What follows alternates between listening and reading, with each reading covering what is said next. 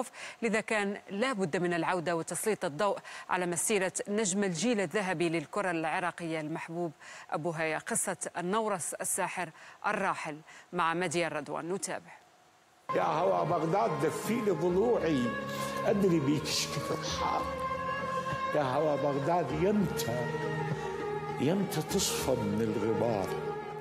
هوى بغداد وغبارها مستمر. هوى بغداد طلع علينا بخبر رحيل أسطورة رياضية نالت حب ورضا الجميع. أحمد راضي خبر وفاته بسبب جائحة كورونا تصدر مواقع التواصل في عدد من الدول العربية.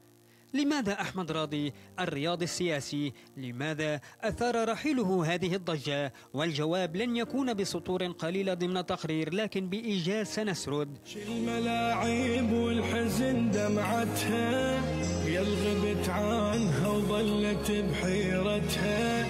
وجهك وطن والوادم ضحكتها. مسيرة مرصعة بالألقاب مليئة بالفرحة فهو كان عرابها في الأندية والمنتخب. كان نورسا حط الرحال في الزوراء ابن الكرخ الأصيل وانتقل لوقت وجيز إلى الوكرة. عليك اسأل عليك اسأل عليك اسأل من الرايح ومن الجاي.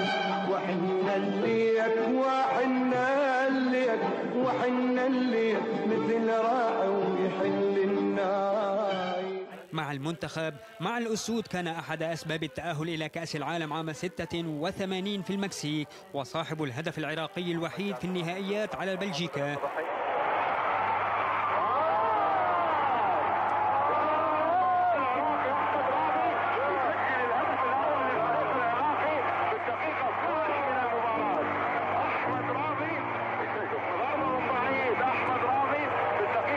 لم يتوقف العطاء فكان له دور في لم شمل الكرة العراقية والتأهل الأولمبي عام 2004 وهذا الجيل سيحصد الآسيوية لاحقا.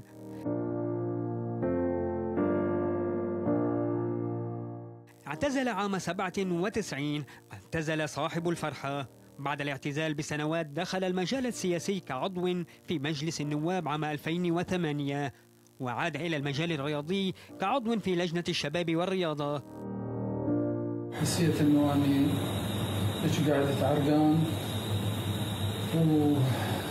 والسخونة عالية عندي. وصار عندي ضيق تنفس.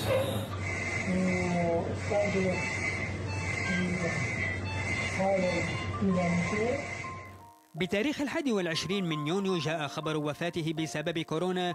جاء الخبر كصاعقة على الوسط الرياضي العراقي والعربي بالمجمل وحتى التلفزيون البلجيكي نقل خبر وفاته.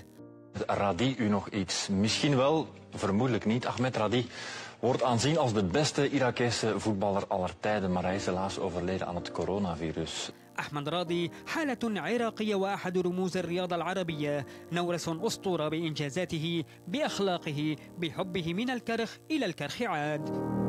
من رضوان صدى الملاعب.